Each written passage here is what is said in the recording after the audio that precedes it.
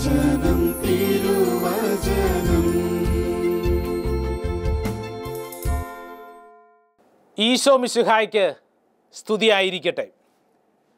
പ്രിയപ്പെട്ട ദൈവജനമേ ദൈ ശുശ്രൂഷയിൽ പങ്കെടുക്കുന്ന നമുക്കെല്ലാവർക്കും സർവശക്തനായ ദൈവം നൽകുന്ന സമാധാനവും സന്തോഷവും അനുഭവിക്കുവാൻ മറ്റുള്ളവർക്ക് പങ്കുവയ്ക്കുവാൻ ഇടവരട്ടെ എന്ന് ആശംസിക്കുകയും പ്രാർത്ഥിക്കുകയും ചെയ്യുകയാണ്. വിശുദ്ധ പൗലോസ്ലീഹ എഫ് എസ് എസർക്ക് എഴുതിയ ലേഖനം. അതിൽ അഞ്ചാം അധ്യായവും ആറാം അധ്യായവും രണ്ട് പ്രധാനപ്പെട്ട അധ്യായങ്ങളാണ്. കാരണം നമ്മുടെ എല്ലാവരുടെയും അനുദിന ജീവിതത്തിൽ നമ്മൾ എങ്ങനെ പെരുമാറണമെന്ന് കൃത്യം വ്യക്തമായി നമ്മളെ പഠിപ്പിക്കുന്ന രണ്ട് അധ്യായങ്ങൾ. അത് വളരെ പ്രധാനമായും കുടുംബ ജീവിതത്തോട് ബന്ധപ്പെടുത്തിയാണ് എഴുതിയിരിക്കുന്നത്. ഭാര്യ ഭർത്താക്കന്മാർ എങ്ങനെ പെരുമാറണം? മക്കൾ മാതാപിതാക്കളോട് എങ്ങനെ പെരുമാറണം? അങ്ങനെ തുടങ്ങി ഓരോ ജീവിത അന്തസ്സിനും ഇണങ്ങുന്ന തരത്തിൽ എപ്രകാരം പെരുമാറണമെന്ന് നമ്മളെ പഠിപ്പിക്കുന്ന മനോഹരമായിട്ടുള്ള രണ്ട് അധ്യായങ്ങൾ. അതിൽ ഏറ്റവും പ്രധാനം അഞ്ചാം അധ്യായം അതിന്റെ മുപ്പത്തിരണ്ടാം തിരുവചനം. വചനം ഇങ്ങനെ പറയുന്നു ഇത് വലിയ ഒരു രഹസ്യമാണ്. സഭയോടും ക്രിസ്തുവിനോടും ബന്ധപ്പെടുത്തിയാണ് ഞാനിത് പറയുന്നത്. കുടുംബജീവിതത്തെക്കുറിച്ചാണ് പൗലോസ് ലീഹ പറയുന്നത്. ഇത് വലിയ ഒരു രഹസ്യമാണ്. ഒരു ഡിവൈൻ മിസ്റ്ററി ആണെന്നാണ് പൗലോസ് ലീഹ പറഞ്ഞു വയ്ക്കുന്നത് അതുകൊണ്ടാണല്ലോ കുടുംബജീവിതത്തെക്കുറിച്ച് അത്രമേൽ പ്രാധാന്യത്തോടു കൂടി വിശുദ്ധ ഗ്രന്ഥം ആവർത്തിച്ച് ആവർത്തിച്ച് പറയുന്നത്. ഉൽപ്പത്തി മുതൽ വെളിപാട് വരെ വായിച്ചു പോകുമ്പോൾ ഓരോ പുസ്തകത്തിന്റെ താളുകളിലും ഈ വലിയ ആത്മീയ രഹസ്യത്തെ നമ്മുടെ മുമ്പിൽ ദാ പഠിപ്പിക്കുകയാണ്. ഉൽപ്പത്തി പുസ്തകത്തിന്റെ ആരംഭം തന്നെ ഒരു കുടുംബത്തെക്കുറിച്ച് നമ്മളെ പഠിപ്പിച്ചുകൊണ്ടാണ്. നമുക്കറിയാം ആദോ ഹൗവായുടെയും കുടുംബം. മുമ്പോട്ട് പോകുമ്പോൾ ഓരോ അധ്യായങ്ങളിലും കുടുംബജീവിതത്തെ അത്രമേൽ പ്രധാനപ്പെട്ടതാണെന്ന് നമ്മളെ പഠിപ്പിക്കുന്നുണ്ട്. അവസാനം വെളിപാട് പുസ്തകത്തിൽ അവസാനിക്കുന്നത് കുഞ്ഞാടിന്റെ വിവാഹ വിരുദിനെക്കുറിച്ചുള്ള രേഖപ്പെടുത്തലുകളിലൂടെയാണ്. പുതിയ നിയമത്തിൽ യേശുവിന്റെ ആദ്യത്തെ അത്ഭുതം എന്ന് പറയുന്നത് യോഹന്നാൻ സ്ലിഹ പ്രകാരം യോഹന്നാന്റെ സുവിശേഷം രണ്ടാം അധ്യായത്തിൽ എഴുതിയിരിക്കുന്നു കാനായിലെ വിവാഹ വരുന്ന ഒരു കുടുംബത്തിലാണ്. എന്ന് പറഞ്ഞാൽ അത്രമേൽ പ്രധാനപ്പെട്ടതാണിത്. നമ്മളെല്ലാവരും ഏതെങ്കിലുമൊക്കെ ഒരു കുടുംബത്തിൽ പിറന്നവരാണ്. പ്രിയപ്പെട്ടവരെ ഈ അവസരത്തിൽ പൗലോസ്ലീഹ ദായി ശുശ്രൂഷയിൽ പങ്കെടുക്കുന്ന നമ്മളെല്ലാവരെയും ഒരു പ്രധാനപ്പെട്ട കാര്യം പഠിപ്പിക്കാൻ ആഗ്രഹിക്കുകയാണ്. അതുകൊണ്ടാണല്ലോ അദ്ദേഹം പറഞ്ഞു വെച്ചത് ഇത് വലിയ ഒരു രഹസ്യമാണ്. ഒരുപക്ഷെ ഒട്ടുമുക്കാൽ വിവാഹ അവസരങ്ങളിലൊക്കെ വായിക്കപ്പെടുന്ന ലേഖന ഭാഗമാണ് പൗലോസ് ലീഹ എഫ് എസ് എസ് ആർക്ക് എഴുതിയ ലേഖനം അഞ്ചാം അധ്യായം അതിന്റെ ഇരുപത്തിരണ്ട് മുതലുള്ള വചനം. പലതവണ വായിച്ച് നമ്മളൊക്കെ കേട്ടിട്ടുള്ളതാണ്. എങ്ങനെയാണ് ഭാര്യമാർ ഭർത്താക്കന്മാരോട് പെരുമാറേണ്ടത്? ഭർത്താക്കന്മാർ എങ്ങനെയാണ് ഭാര്യയോട് പെരുമാറേണ്ടത് എന്നൊക്കെ കൃത്യവ്യക്തമായി പൗലോസ് ലിഹ എഴുതി വച്ചിട്ടുണ്ട്. നാളുകൾക്ക് മുമ്പ് ഞങ്ങളുടെ ഇടവകപ്പള്ളിയിൽ ഒരു വിവാഹം നടക്കുന്നു. അപ്പോൾ ശുശ്രൂഷി ലേഖനം വായിച്ചു. ലേഖനം വായിച്ച് അവസാനം വായിച്ചു നിർത്തുന്നത് ഇത് വലിയ ഒരു രഹസ്യമാണ് എന്ന് പറഞ്ഞുകൊണ്ടാണ്. കാരണം മുപ്പത്തിരണ്ടാം വചനം അങ്ങനെയാണ് എഴുതിയിരിക്കുന്നത്. അപ്പോൾ ശുശ്രൂഷ വായിച്ചപ്പോൾ ഒരു വാക്ക് മാറിപ്പോയി. ഇത് വലിയ ഒരു രഹസ്യമാണ് എന്നതിന് പകരം വായിച്ചത് ഇത് വലിയ ഒരു രസമാണ് എന്നുള്ളതാണ് ഹാ വിട്ടുപോയി. ഒരുപക്ഷെ ഈ ശുശ്രൂഷയിൽ പങ്കെടുക്കുന്ന അനേകരുടെ ജീവിതത്തിൽ ഈ രഹസ്യം മനസ്സിലാക്കാതെ രസമായി മാറിയിട്ടുണ്ടെങ്കിൽ ദാ ഇപ്പോൾ നമ്മളെല്ലാവരെയും പൗലോസ് ലിഹ ക്ഷണിക്കുന്നത് ഈ രഹസ്യത്തെക്കുറിച്ച് മനസ്സിലാക്കാനാണ്. കുടുംബജീവിതം അത്രമേൽ മഹത്തരമാണെന്ന് പൗലോസ് സ്ലീഹ ആവർത്തിച്ച് പഠിപ്പിക്കുകയാണ്. ഈ രഹസ്യത്തിന് വ്യത്യസ്ത തലങ്ങളുണ്ട് നമുക്കറിയാം. എങ്കിലും അതിൽ ഒരു പ്രധാനപ്പെട്ട തലത്തെയാണ് ഇപ്പോൾ ഈ ശുശ്രൂഷ അവസരത്തിൽ നമ്മളെ പരിശുദ്ധാത്മ പഠിപ്പിക്കാൻ ആഗ്രഹിക്കുന്നത്. ഞാനൊരു കുടുംബത്തിന്റെ കൗൺസിലിംഗ് സംഭവത്തോട് ബന്ധപ്പെടുത്തി ഈ കാര്യം താൻ നമ്മുടെ മുമ്പിൽ പങ്കുവയ്ക്കുകയാണ്. ഭാര്യയും ഭർത്താവും ധ്യാന കേന്ദ്രത്തിൽ കുറച്ച് നാളുകൾക്ക് മുമ്പ് വന്നു. അവർ വന്ന അവസരത്തിൽ അവരുടെ ജീവിതത്തിന്റെ ഒത്തിരി സങ്കടകരമായ കാര്യങ്ങളോട് ബന്ധപ്പെടുത്തിയാണ് കൗൺസിലിംഗ് സംഭാഷണത്തിന് വന്നിരിക്കുന്നത്. ഭർത്താവും ഭാര്യയും ഇവരുടെ ജീവിതത്തിൽ ആറു വർഷം കഴിഞ്ഞ് കല്യാണം കഴിഞ്ഞിട്ട്. ഇവർ എന്റെ അടുക്കൽ വന്നിരുന്ന് സംസാരം തുടങ്ങിയപ്പോൾ ഭർത്താവ് പറയുന്നത് അച്ഛാ ഒത്തിരി പൊരുത്തക്കേടുകളിലാണ് ഞങ്ങളുടെ ജീവിതം. ഇനി ഒരുമിച്ച് ജീവിക്കാൻ ഞങ്ങൾക്ക് സാധ്യമല്ല. ഞങ്ങൾക്കൊരു കുട്ടിയുണ്ട്. ആ കുട്ടി ഉള്ളതുകൊണ്ടാണ് ഞങ്ങൾ ഇത്രയും നാളും ഒന്ന് പിടിച്ചു നിന്നത്. എന്നാൽ ഇപ്പോൾ അച്ഛാ ഒരു തരത്തിലും ഞങ്ങൾക്ക് ഒരുമിച്ച് ജീവിക്കാൻ പറ്റാത്ത വണ്ണം ഞങ്ങൾ അകന്നു തുടങ്ങിയിരിക്കുന്നു. എല്ലാ ദിവസവും വഴക്കാണ് അസ്വസ്ഥതയാണ്. അപ്പം ഞാൻ ചോദിച്ചു എന്നു മുതലാണ് നിങ്ങളിത് അനുഭവിക്കാൻ തുടങ്ങിയത്? കഴിഞ്ഞ ആറു വർഷമായിട്ട് ഇങ്ങനെ തന്നെയാണോ? അപ്പം അദ്ദേഹം പറഞ്ഞു വിവാഹത്തിന്റെ ആദ്യ നാളുകളിലൊന്നും കുഴപ്പമില്ലായിരുന്നു. സാവധാന സാവധാനം പ്രശ്നങ്ങൾ ആരംഭിച്ചു. പ്രത്യേകിച്ച് അച്ഛാ ദാ കഴിഞ്ഞ കുറേ മാസങ്ങളായി. എന്ന് പറഞ്ഞാൽ മനസ്സിലാകും ഏതാ മാസങ്ങൾ? ആ കോവിഡിന്റെ മഹാമാരി വന്നതിന് ശേഷം ഇവരുടെ ജീവിതത്തിൽ ഇവരുടെ കുറേ പ്രശ്നങ്ങൾ ആരംഭിച്ചു.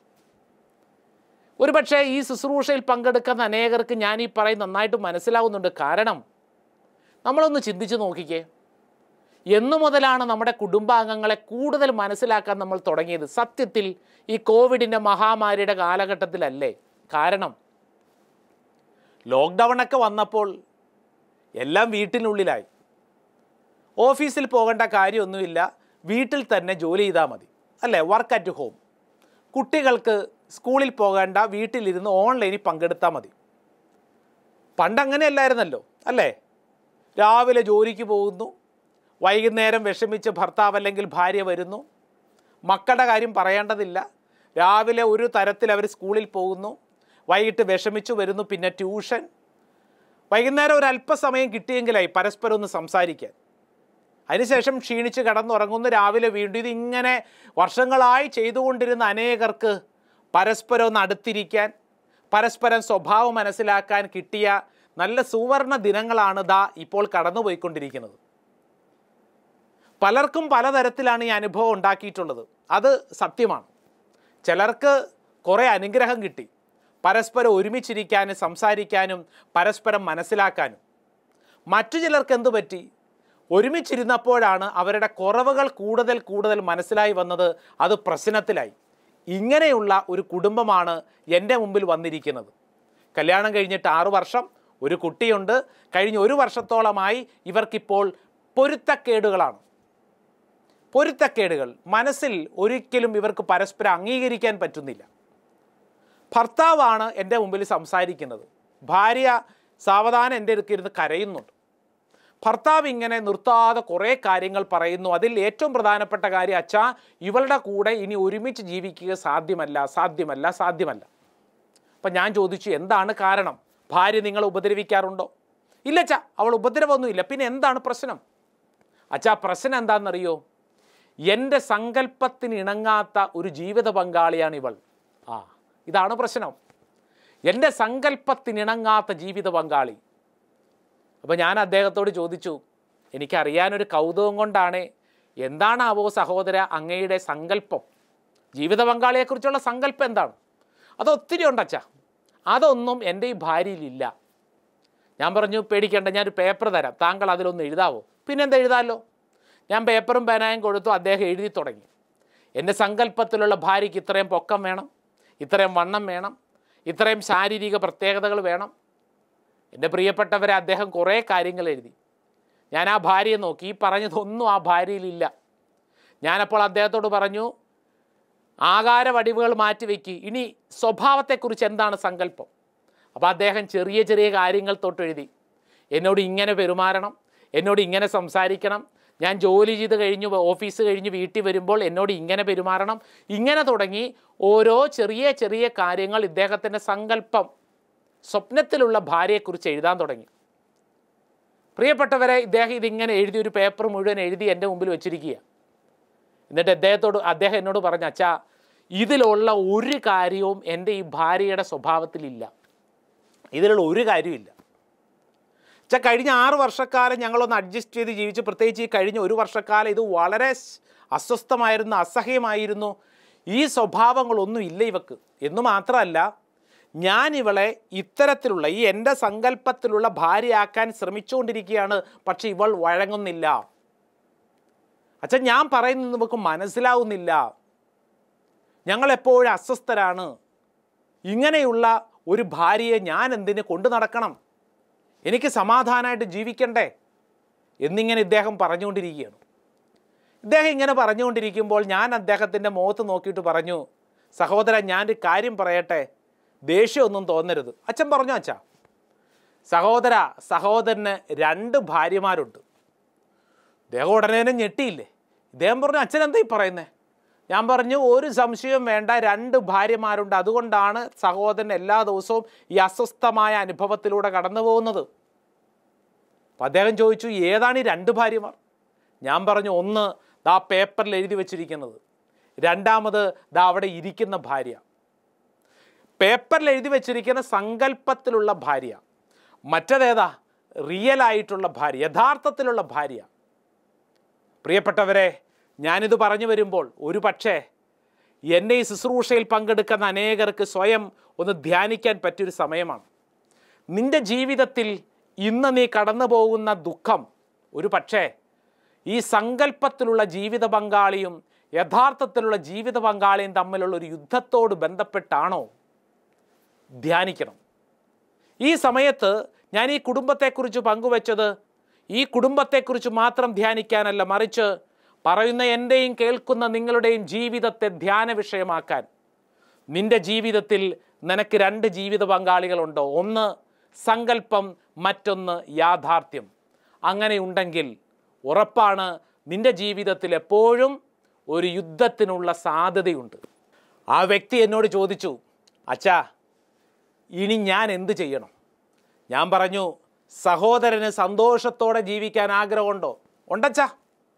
എനിക്ക് സന്തോഷത്തോടെ ജീവിക്കാൻ ആഗ്രഹമുണ്ട്. ഞാൻ പറഞ്ഞു അങ്ങനെ ആഗ്രഹം ഉണ്ടെങ്കിൽ ചെയ്യേണ്ട കാര്യം എന്താണെന്നറിയോ? സങ്കല്പത്തിലുള്ള ഭാര്യയെ ഡൈവോഴ്സ് ചെയ്യുക. എന്നിട്ട് ഈ ഇരിക്കുന്ന യഥാർത്ഥത്തിലുള്ള ഭാര്യയെ ഹൃദയത്തിൽ സ്വീകരിക്കുക അംഗീകരിക്കുക. ഇത് വളരെ പ്രധാനപ്പെട്ട കാര്യമാണ്. സങ്കല്പത്തിലുള്ള ഭാര്യയെ താങ്കൾ ഡൈവോഴ്സ് ചെയ്യണം. എങ്കിലേ ഈ യഥാർത്ഥത്തിലുള്ള ഭാര്യ അംഗീകരിക്കാൻ പറ്റുകയുള്ളൂ. എന്റെ പ്രിയപ്പെട്ടവരെ നമ്മുടെയൊക്കെ ജീവിതത്തിലുള്ള മിക്കവാറുമുള്ള യുദ്ധം ഈ സങ്കല്പവും യാഥാർത്ഥ്യവും തമ്മിലുള്ള യുദ്ധമാണ്. ഇപ്പോൾ ചെയ് സംഭവിക്കുന്നത് എന്താണ്? സങ്കല്പത്തിലുള്ള ആളാക്കി മാറ്റാൻ വേണ്ടി ഈ മനുഷ്യൻ പെടാപ്പാടുപടി രാത്രിയും പകലുമുള്ള യുദ്ധം ഈ സങ്കല്പത്തിലുള്ള വ്യക്തിയാക്കി മാറ്റാനാണ് ഈ സ്ത്രീക്ക് ഒരിക്കലും ആ സങ്കല്പത്തിലുള്ള ഭാര്യയാകാൻ പറ്റുമോ ഒരിക്കലും പറ്റില്ല. നീ ചിന്തിച്ചു നോക്കുക. നിന്റെ ജീവിതത്തിൽ നിന്റെ ജീവിത പങ്കാളിയെ മറ്റൊന്നാക്കാൻ നീ ശ്രമിച്ചാൽ നടക്കുമോ? കാരണം നമ്മളെല്ലാവരും വ്യത്യസ്തമായ സ്വഭാവ രീതികൾ. ഇപ്പം ഭാര്യയും ഭർത്താവും രണ്ട് പേര് രണ്ട് വ്യത്യസ്ത കുടുംബങ്ങളിൽ രണ്ട് വ്യത്യ- വ്യത്യസ്ത പശ്ചാത്തലങ്ങളിൽ രണ്ട് വ്യത്യസ്ത വിദ്യാഭ്യാസ രൂപത്തിൽ വളർന്നു വന്നവരാണ്. ഇവരെ ഒരുമിച്ച് ചേരുമ്പോൾ സ്വാഭാവികമായും അവിടെ അനേക തരത്തിലുള്ള പൊരുത്തക്കേടുകൾ ഉണ്ടാകും. അതിൽ സംശയമില്ല. എല്ലാം തികഞ്ഞവർ ആരെങ്കിലും ഉണ്ടോ? പ്രിയപ്പെട്ടവരെ നമ്മളൊക്കെ കുറവുകളുള്ളവരാണ്. കുറവുകളുള്ള നമ്മൾ എന്ത് ചെയ്യണം? ഈ പൊരുത്തക്കേടുകളെ അനുഗ്രഹമാക്കി മാറ്റാൻ സാധിക്കും. പൊരുത്തക്കേടുകൾ നമ്മൾ സങ്കല്പത്തിലുള്ള കാര്യങ്ങളോട് വെച്ചുകൊണ്ട് യുദ്ധം ചെയ്യാനല്ല മറിച്ച് നമ്മുടെ അനുദിന ജീവിതത്തിൽ ഈ കാര്യത്തെ നമ്മൾ ഹൃദയത്തിൽ സ്വീകരിച്ച് അംഗീകരിക്കണം. അപ്പോൾ ചോദ്യം നീ നിന്റെ ജീവിതത്തിലെ ജീവിത പങ്കാളിയെ ഹൃദയത്തിൽ സ്വീകരിച്ചിട്ടുണ്ടോ?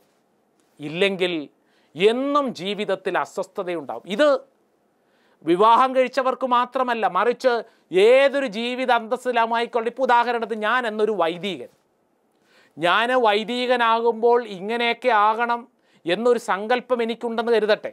ഉദാഹരണത്തിന് ഞാൻ കരുതുകയാണ് എനിക്കൊരു സാമൂഹ്യ പ്രവർത്തകനായ വൈദികനാവണം. അപ്പം അങ്ങനെ ഒത്തിരി ആഗ്രഹിച്ച് നിൽക്കുന്നു. ഞാൻ വൈദികനായത് ഇതാ വിൻസെൻഷൻ സഭയിലാണ് വൈദികനായത്.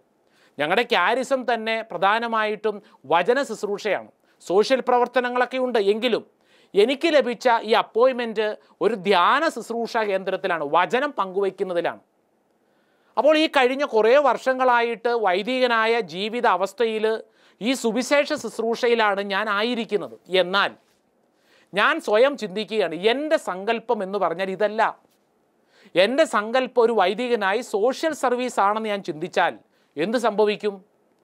ഈ വചന ശുശ്രൂഷയിൽ എനിക്ക് നൂറ് ശതമാനം വിശ്വസ്തയോടെ നിൽക്കാൻ പറ്റാത്ത വണ്ണം എന്റെ ഉള്ളിൽ ഒരു അസ്വസ്ഥതയുണ്ടാവും. കാരണം ഞാൻ ദിവസവും രാവിലെ എഴുന്നേൽക്കുമ്പോൾ ധ്യാന കേന്ദ്രം വചന ശുശ്രൂഷ ധ്യാനങ്ങൾ ഇങ്ങനെയുള്ള കാര്യങ്ങളാണ് ഞാൻ ഇടപെടേണ്ടത്. അപ്പോൾ ഞാൻ പറയുകയാണ് ഇതൊന്നുമല്ല ഞാൻ ആഗ്രഹിച്ചത്. ഞാൻ ആഗ്രഹിച്ച സോഷ്യൽ സർവീസാണ് സോഷ്യൽ സർവീസാണ് എന്റെ സങ്കല്പം എന്റെ യാഥാർത്ഥ്യം. ഇത് രണ്ടും തമ്മിൽ എല്ലാ ദിവസവും യുദ്ധമുണ്ട്. അപ്പോൾ ഞാൻ എന്ത് ചെയ്യണം? എനിക്ക് സമാധാനം കിട്ടണമെങ്കിൽ ഞാൻ ഇന്നായിരിക്കുന്ന ജീവിതാവസ്ഥയെ എന്റെ ഹൃദയത്തോട് ചേർത്ത് വയ്ക്കണം. ഞാൻ ആയിരിക്കുന്ന ധ്യാന മന്ദിരം ഞാനായിരിക്കുന്ന വചന ശുശ്രൂഷ ഇതാണ് ഇപ്പോൾ എന്റെ ദൈവം നൽകിയിരിക്കുന്ന ശുശ്രൂഷ. ഇത് ഞാൻ അംഗീകരിക്കുക ഈ ശുശ്രൂഷയിൽ മുമ്പോട്ട് പോകണം. സാമൂഹ്യ സേവനം മോശമായതുകൊണ്ടല്ല മറിച്ച് ലഭിച്ചിരിക്കുന്ന അന്തസ് ലഭിച്ചിരിക്കുന്ന അവസരത്തെ ഹൃദയത്തോട് ചേർത്ത് നമ്മൾ സ്വീകരിക്കണം. ഇതല്ലെങ്കിൽ വിപ്ലവകാരികളും കലാപകാരികളുമായി മാറും. നിങ്ങൾ ചിന്തിച്ചു നോക്കുക. അച്ഛനായാലും കന്യാസ്ത്രീ ആയാലും കുടുംബജീവിത വഴിയിലായാലും ആയിരിക്കുന്ന അവസ്ഥയിൽ സംതൃപ്തി ഇല്ലെങ്കിൽ ആ വ്യക്തികൾ ആരാവും? കലാപകാരികളായി മാറും. സംശയമുണ്ടെങ്കിൽ ഈ കഴിഞ്ഞ നാളുകളിലൊക്കെയുള്ള അനേക മാധ്യമങ്ങളിലെ ശ്രദ്ധ പിടിച്ചു പറ്റിയ പ്രശ്നങ്ങളെക്കുറിച്ച് ചിന്തിച്ചാൽ മതി. സ്വയം ജീവിതത്തിൽ സംതൃപ്തി ഇല്ലാത്തവർ കലാപകാരികളായി മാറും. അവർ പ്രശ്നങ്ങൾ ഉണ്ടാക്കും.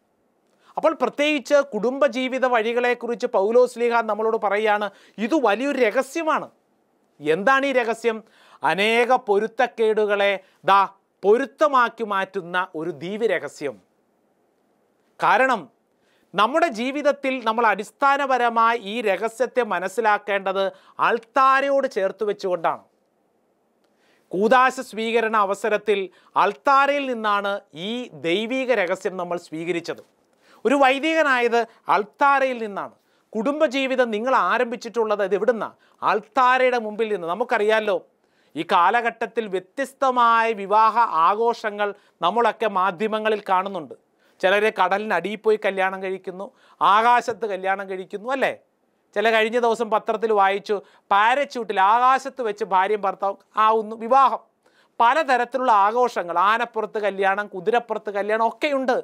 പക്ഷേ കത്തോലിക്കര് വിവാഹം കഴിക്കുന്ന ഇവിടുന്ന ആൾത്താരുടെ മുമ്പിൽ നിന്നാണ് ഭാര്യയും ഭർത്താവുമായി തീരുന്നത് അവർ ആൾത്താരുടെ മുമ്പിൽ നിന്ന്. അതുകൊണ്ട് ഫുൾ ഫുൾട്ടഞ്ചെ ഷീൻ എന്ന് പറയുന്ന ദൈവശാസ്ത്രജ്ഞൻ ഇങ്ങനെ പഠിപ്പിക്കുന്നു.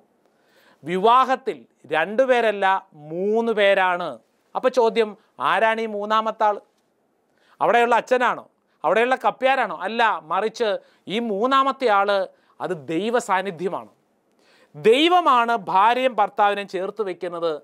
അവർ രണ്ടുപേരുടെയും ബുദ്ധിയല്ല അവരുടെ രണ്ടുപേരുടെയും കഴിവല്ല മറിച്ച് ദൈവ സാന്നിധ്യം ഇത് നമ്മൾ തിരിച്ചറിഞ്ഞില്ലെങ്കിൽ എന്നും എപ്പോഴും പ്രശ്നങ്ങളായിരിക്കും. ഭാര്യയും ഭർത്താവും ബുദ്ധി കൊണ്ട് ചിന്തിക്കുകയാണ്. ഈ ജീവിത പങ്കാളിൽ നിന്ന് എനിക്ക് എന്ത് കിട്ടും? ആലോചിക്കും തോറും അസ്വസ്ഥത കാരണം നമ്മുടെ മുമ്പിൽ തെളിഞ്ഞു വരുന്ന മുഴുവൻ കുറേ കുറവുകളാണ് പോരായ്മകളാണ്. സങ്കല്പത്തിലുള്ള യാതൊന്നുമായിട്ട് ചേർച്ചയില്ലാത്ത ഒരു ജീവിത പങ്കാളി. എങ്ങനെ അംഗീകരിക്കും? എങ്ങനെ മുമ്പോട്ട് പോകും? നിസാരപ്പെട്ട കാര്യങ്ങൾ മതി ദിവസവും വഴക്കുണ്ടാക്കാൻ. നിസാരം. നിങ്ങൾ ചിന്തിച്ചു നോക്കിയേ ഇന്ന് കുടുംബത്തിൽ ഏതെങ്കിലും അസ്വസ്ഥതയുണ്ടെങ്കിൽ അതിനുള്ള കാരണം നിസാരപ്പെട്ട കാരണങ്ങളാവാം നമ്മുടെ പിടിവാശികളല്ലേ. എന്റെ ചിന്തകൾ എന്റെ ധാരണകൾ എന്റെ സങ്കല്പങ്ങൾ എന്റെ എന്റെ എന്റെ കൂടെയുള്ള വ്യക്തിയെ മനസ്സിലാക്കാൻ പോലും തയ്യാറാവാതെ ഈ സങ്കല്പത്തെ ആ വ്യക്തിയുടെ ജീവിതത്തിൽ അടിച്ചേൽപ്പിക്കാനുള്ള ശ്രമം. വിശുദ്ധ ഗ്രന്ഥം നമ്മളോട് മുമ്പിൽ പറയുന്ന എന്തെന്നറിയോ? നിന്റെ സങ്കല്പത്തെ മാറ്റിവെച്ചിട്ട് ആയിരിക്കുന്ന അവസ്ഥയെ അംഗീകരിക്കുക. പഴയ നിയമത്തിലെ മനോഹരമായിട്ടുള്ളൊരു വചനം സഭാപ്രസംഗകന്റെ പുസ്തകം ആറാം അധ്യായം ഒൻപതാം വചനം. വചനം പറയുന്നു കൺമുമ്പിലുള്ളത് കൊണ്ട് തൃപ്തിപ്പെടുന്നതാണ് സങ്കല്പങ്ങളിൽ അലയിലെന്നതിനേക്കാൾ നല്ലത്. ഇത് മിഥ്യയും പാഴ്വേലയുമാണ്. വചനം കേട്ടോ ഒരിക്കൽ കൂടെ വായിക്കാം. സഭാപ്രസംഗകന്റെ പുസ്തകം ആറാം അധ്യായം ഒൻപതാം വചനം. വചനം പറയുന്നു കൺമുമ്പിൽ ഉള്ളതുകൊണ്ട് തൃപ്തിപ്പെടുന്നതാണ് സങ്കല്പങ്ങളിൽ അലയുന്നതിനേക്കാൾ നല്ലത്. നിന്റെ ജീവിതത്തിൽ ഇപ്പോൾ ആയിരിക്കുന്ന അവസ്ഥയെ ഹൃദയത്തിൽ സ്വീകരിച്ച് അംഗീകരിച്ചാൽ രക്ഷപ്പെട്ടു.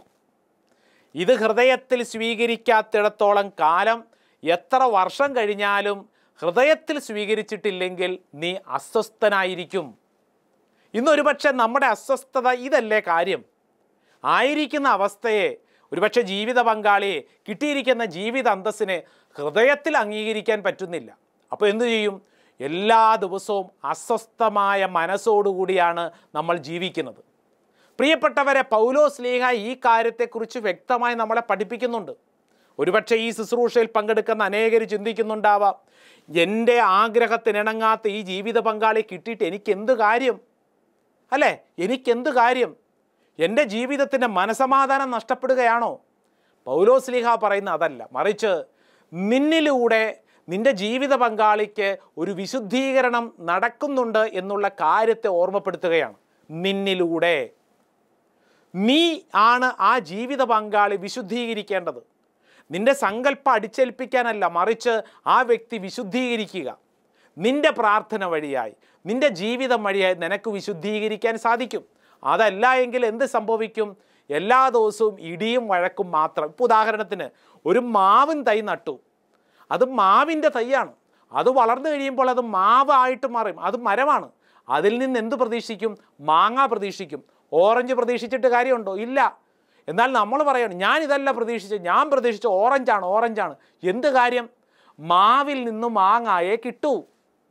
ഓറഞ്ച് മരത്തിൽ നിന്നേ ഓറഞ്ച് കിട്ടൂ. എന്നതുപോലെ തന്നെ നമ്മുടെ സങ്കല്പവും യാഥാർത്ഥ്യവും തമ്മിൽ ചേരാതെ യുദ്ധം ചെയ്ത് നമ്മൾ ഇങ്ങനെയാണ് പ്രതീക്ഷിച്ചതെന്ന് പറഞ്ഞിട്ട് കാര്യമില്ല. മറിച്ച് ഹൃദയത്തിൽ അംഗീകരിക്കുക ദൈവം ഒരു വിശുദ്ധീകരണം നമ്മിലൂടെ ആഗ്രഹിക്കുന്നു. നാളുകൾക്ക് മുമ്പ് കുടുംബജീവിതത്തിൽ വലിയൊരു ക്രൈസിസിലൂടെ കടന്നുപോയ ഒരു സ്ത്രീക്ക് കുടുംബനാഥയ്ക്ക് കിട്ടിയ വചനം ഞാൻ നിങ്ങളുടെ മുമ്പിൽ പങ്കുവയ്ക്കാം. അത് വിശുദ്ധ പൗലോസ്ലീഹ കൊറുന്തസർക്ക് എഴുതിയ ഒന്നാം ലേഖനം ഏഴാം അധ്യായം പതിനാലാം തിരുവചനമാണ്.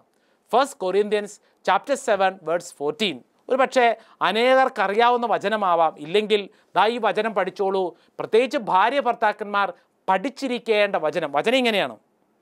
എന്തെന്നാൽ അവിശ്വാസിയായിട്ടുള്ള ഭർത്താവ് ഭാര്യ മുഖേനയും അവിശ്വാസിനിയായ ഭാര്യ ഭർത്താവ് മുഖേനയും വിശുദ്ധീകരിക്കപ്പെടുന്നു. പരസ്പരം വിശുദ്ധീകരിക്കാനാണ് ജീവിതം. അപ്പോൾ ഭർത്താവിന് വിശ്വാസമുണ്ട് ഭാര്യയ്ക്ക് വിശ്വാസമില്ല. അപ്പോൾ എന്തു ചെയ്യണം? ഈ ഭർത്താവിന്റെ പ്രാർത്ഥനാ ജീവിതം കൊണ്ട് ഭാര്യയെ നേടിയെടുക്കണം. നേരെ തിരിച്ചു. ഇത് ജീവിത ബന്ധങ്ങളെ വളർത്തിയെടുക്കാൻ വിശുദ്ധീകരിക്കാൻ ദൈവം തന്നതാണെന്ന് ഓർമ്മപ്പെടുത്തുകയാണ്. നിന്റെ കുറവ് മറ്റൊരു വ്യക്തിയിലൂടെ നിന്റെ ജീവിത പങ്കാളിയിലൂടെ വിശുദ്ധീകരിക്കപ്പെടും. പഴയ നിയമത്തിലെ ജോബ്. ജോബിനെ കുറിച്ച് നമ്മൾ വായിച്ചില്ലേ? ജോബിന്റെ ജീവിതത്തിൽ എന്തെല്ലാം സംഭവങ്ങളുണ്ടായി? അവന്റെ സമ്പത്ത് പോയി മക്കൾ പോയി എല്ലാം പോയി. പക്ഷെ ആര് മാത്രം പോയില്ല? ഭാര്യ ഭാര്യ കൂടെയുണ്ട്. ജോബിന്റെ ഭാര്യയെക്കുറിച്ച് ബൈബിൾ എഴുതി വെച്ചിട്ടില്ലേ? ഇതുപോലെ അസ്വസ്ഥപ്പെടുന്ന വേറൊരു ഭാര്യയെക്കുറിച്ച് എഴുതിയിട്ടുണ്ടോ? ജോബിന്റെ അവസ്ഥ എന്താ? കുഷ്ഠരോഗം പിടിച്ച് ആ ചാരത്തിലിരുന്ന് ശരീരത്തിലെ പുഴുവിനെയൊക്കെ തോണ്ടിക്കൊണ്ടിരിക്കുമ്പോൾ ഭാര്യ വന്നിട്ട് എന്താ പറയണേ? എന്റെ മനുഷ്യ ഇയാൾ ഇപ്പോഴും ദൈവത്തെ സ്തുതിച്ചുകൊണ്ടിരിക്കുകയാണോ ദൈവത്തെ ശപിച്ചിട്ട് പോയി ആത്മഹത്യ ചെയ്യും. എന്ത് നല്ല ഭാര്യ അല്ലേ ഒരു പ്രശ്നം ഉണ്ടാകുമ്പോഴത്തേക്ക് പോയി ആത്മഹത്യ ചെയ്യാൻ അത് ദൈവത്തെ ശപിച്ചിട്ട്. അപ്പോൾ ഇങ്ങനെയുള്ള ഒരു ജീവിത പങ്കാളി. ജോബ് ഇന്ന് വിശുദ്ധ ഗ്രന്ഥത്തിൽ നമ്മൾ ജോബിനെ നീതിമാനായും സഹനങ്ങളുടെ ഒരു വലിയ പ്രതിപുരുഷനായും ഒക്കെ നമ്മൾ മനസ്സിലാക്കുമ്പോൾ ജോബ് വിശുദ്ധനായതിന്റെ പിന്നിൽ ആരും കൂടെയുണ്ട്. ജോബിന്റെ ഭാര്യയ്ക്കും ഒരു റോളുണ്ട്. അത് പ്രധാനപ്പെട്ടതാണ്. പ്രിയപ്പെട്ടവരെ നമ്മുടെ ജീവിതത്തിൽ നമുക്കുള്ള ജീവിത അവസ്ഥയിൽ നമ്മുടെ ചുറ്റുവട്ടത്തുള്ള ഓരോ വ്യക്തിക്കും ഓരോ റോളുകളുണ്ട്. നിന്റെ ജീവിത പങ്കാളിക്ക് എന്തെങ്കിലും കുറവുണ്ടെങ്കിൽ നിന്റെ പ്രാർത്ഥനയിലൂടെ നിന്റെ സ്നേഹപൂർവമായ പെരുമാറ്റത്തിലൂടെ അതിനെ വിശുദ്ധീകരിക്കണം. കളയാനല്ല ഉപേക്ഷിക്കാനല്ല മറിച്ച് വിശുദ്ധീകരിക്കാൻ. ഇതിനാണ് ദൈവം നമ്മളെ കുടുംബ ജീവിതത്തിലോട്ട് ചേർത്ത് വെച്ചിരിക്കുന്നത്. പൗലോസ്ലീഹ ദാ എന്നെ കേൾക്കുന്നതിന്റെ പ്രിയപ്പെട്ട വലിയ അവസരത്തിൽ വീണ്ടും ആവർത്തിച്ച് പറയുന്നു ഇത് വലിയ ഒരു രഹസ്യമാണ്. മിസ്റ്ററി അടക്കം പറച്ചിലല്ല ആ രഹസ്യമല്ല. മറിച്ച് ഇതൊരു ദീപരഹസ്യമാണ്. അൾത്താരയോട് ബന്ധപ്പെട്ട് മനസ്സിലാക്കേണ്ട ദീപരഹസ്യം. അൾത്താര നമ്മുടെ മുമ്പിൽ ഇത് പഠിപ്പിക്കും. നിന്റെ ജീവിതത്തിൽ പ്രശ്നങ്ങൾ ഉണ്ടാകുമ്പോൾ പരസ്പരം ചെളിവാരി എറിയാനല്ല കാര്യകാരണങ്ങൾ പരസ്പരം പറഞ്ഞ് തർക്കിക്കാനല്ല. മറിച്ച് തമ്പുരാന്റെ മുമ്പിൽ മുട്ടുകുത്തി ചോദിക്കണം ദൈവമേ എനിക്ക് തന്ന ജീവിത പങ്കാളിയെ ഞാൻ എന്താണ് ചെയ്യേണ്ടത്? അപ്പോൾ ദൈവം പഠിപ്പിക്കും. നമ്മളെ പഠിപ്പിക്കും. ഓരോ അവസരത്തിലും ദൈവം കൃത്യം വ്യക്തമായി നമ്മളെ പഠിപ്പിക്കുക അതുകൊണ്ട് ധൈര്യപൂർവം ദൈവസന്നിധിയിൽ നമുക്ക് നമ്മുടെ ജീവിതങ്ങളെ സമർപ്പിക്കാം. കുറവുകളേറെയുള്ളവരാണ് പൊരുത്തക്കേടുകളേറെയുണ്ട് പക്ഷേ അൾത്താര അതെല്ലാം പൊരുത്തമാക്കി മാറ്റും. അതുകൊണ്ട് ഈ അവസരത്തിൽ ഈ ശുശ്രൂഷയിൽ പങ്കെടുക്കുന്ന പ്രിയപ്പെട്ടവരെ ദൈവത്തിന് മുമ്പിൽ നമ്മുടെ ജീവിതത്തെ സമർപ്പിക്കാം. സങ്കല്പത്തിലുള്ളതിനെയും കൊണ്ട് നടക്കാനല്ല മറിച്ച് ജീവിതത്തിലെ യഥാർത്ഥ ആയിരിക്കുന്ന ജീവിതാവസ്ഥയെ ഹൃദയത്തോട് ചേർത്ത് അംഗീകരിക്കാൻ. സർവശക്തനായ ദൈവം നമ്മളെല്ലാവരും അനുഗ്രഹിക്കട്ടെ എന്ന് പ്രാർത്ഥിക്കുന്നു. ദൈവസമൃദ്ധമായി അനുഗ്രഹിക്കട്ടെ. ആമേൻ.